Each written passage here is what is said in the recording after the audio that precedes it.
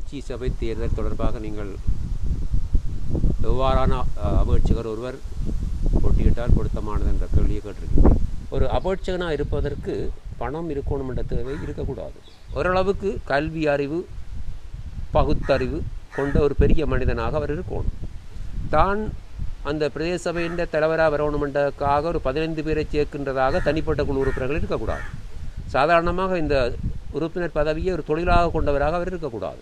அவன் தன்னுடைய குடும்பத்தை பராமரிப்பதற்கான ஒரு தொழிலே ஈடுபட்டிருக்கணும். அல்லாட்டி ஓய்வூதியம் பெற்று வருவனாக இருக்கணும். இந்த அபிவிருத்தி தொடர்பான அறிவும் அனுபவங்களும் உள்ளவர்கள் இதுக்குள்ளே உள்வாங்கப்படணும்.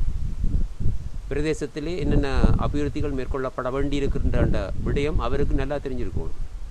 அந்த அபிவிருத்தியை எவ்வாறு ஒழுங்குபடுத்தணும் அல்லது முன்னுரிமைப்படுத்தணும் என்ற விடயமும் அவருக்கு தெரிஞ்சிருக்கணும். இந்த தேர்தலை அரசியல் நோக்கங்களுக்காக பயன்படுத்தாதீங்கன்னு நான் இந்த கட்சிகளை கேட்டுக்கொள்ள விரும்புகிறேன். இந்த அபிவிருத்தியை மட்டும் கருத்தில் கொள்ளுகின்ற ஒரு தேர்தலாக தான் இந்த தேர்தலை நாங்கள் பார்க்கணும் என்று நான் விரும்புகிறேன்.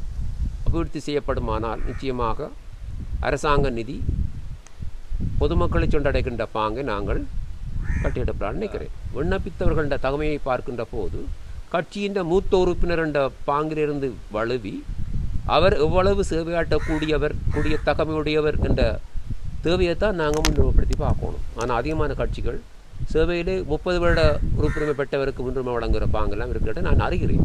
உண்மையில் அது ஒரு தவறான பாங்கு. புதியவர்கள் உள்வாங்கப்பட வேண்டும். புதியவர்களுக்கு சந்தர்ப்பம் வழங்கப்பட வேண்டும்.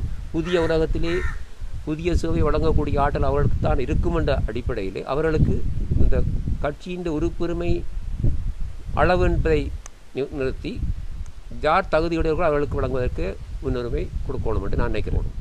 சாவச்சேரி தொகுதியை பொறுத்தவரையில் இந்த பிரதேச சபையில் தேர்தலில் ஈடுபடுவதற்காக நிறைய பேர் போட்டியிடுவதாக நான் கேள்விடுகிறேன் நிறைய விண்ணப்ப படிவங்கள் கட்சி படிவங்களிலிருந்து அவர்கள் பெற்றிருப்பதாக நான் கேள்விப்படுகின்றேன். அதாவது சமூக பணியில் ஈடுபடுவதற்கான அவர்கள் தங்களுடைய விருப்பத்தை காட்டியிருக்கிறார்கள் என்பதை நாங்கள் ஏற்றுக்கொள்ளணும். இந்த பிரதேசங்களை அபிவிருத்தி செய்வதற்கு பொருத்தமான குழு எது? அந்த குழுவை தெரிவு செய்கின்ற சுதந்திரத்தை இந்த மக்களுக்கு வழங்கணும். அது கட்சியாக இருக்கலாம் அல்லது தனிப்பட்ட குழுவாக இருக்கலாம். அப்படி இருந்தால் இந்த பிரதேசத்தின் அபிவிருத்தி மேம்படுத்தப்படும். இந்த பிரதேசத்தின் அபிவிருத்தியில் தான் எங்களுடைய எதிர்காலம் தங்கியிருக்கு என்பதை ஒவ்வொரு கட்சிகளும் தனிப்பட்ட குழுக்களும் கவனத்தில் கொண்டால் இந்த தேர்தல் மிகச் சிறப்பாக சிறப்பான பிரதிகளை தெரிவு செய்கின்ற ஒரு தேர்தலாக இது அமையலாம் என்று நினைக்கிறேன்.